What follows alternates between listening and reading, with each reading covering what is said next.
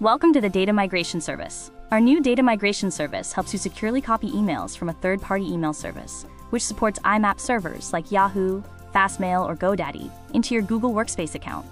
Since it's built directly into the Google Admin Console, there's no need to install anything.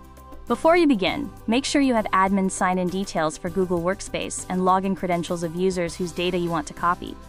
Got them? Great. The very first thing to do is to sign into the Google Admin Console. After signing into your account, select Data from the navigation menu and go to Data Import and Export. To open the Data Migration page, select Data Migration, New. Choose the tool you're migrating data from, in this case, IMAP. If you are copying emails from Microsoft Outlook or a personal Gmail account, select those specific options instead. We have separate guides to walk you through those processes. First, you'll need to connect your old email service account to the Google Workspace account you'll be migrating to. Provide the IMAP server address of the email account you want to copy emails from, then click Test Connection.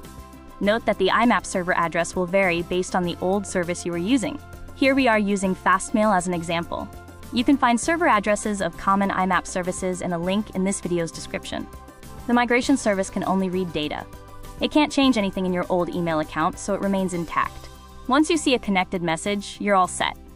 Okay, the next step is to specify whose information you want to copy and where each person's data should go by mapping or matching each user's old account to their new one. But first, make sure that all of your new Google Workspace accounts have already been created. The migration service can only connect existing user accounts. It can't create new ones. Once you've confirmed the new accounts exist, download the sample CSV file. Next, open that file in a text editor on your computer. On each new line, type the user's original email address, then a comma, then their password of the old email account followed by a comma, and then their new Google Workspace email address you want to copy their emails to.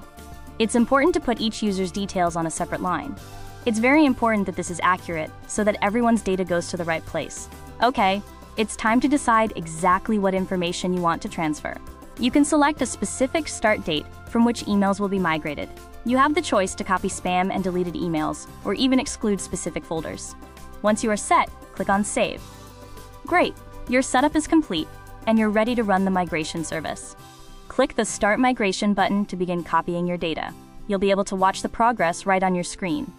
It will show you the overall status and details on how many items have been discovered and copied. Don't worry if you need to stop for any reason. You can hit the Stop Migration button at any time.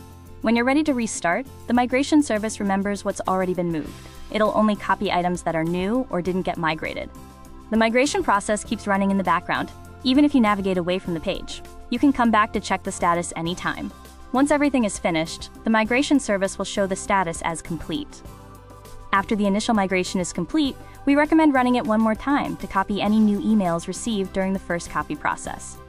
Also, export a migration report for a summary that highlights any errors or items that couldn't be moved. You can fix these issues, then run a final migration. And that's it! Once you've reviewed the reports and are happy with the results, your migration is complete.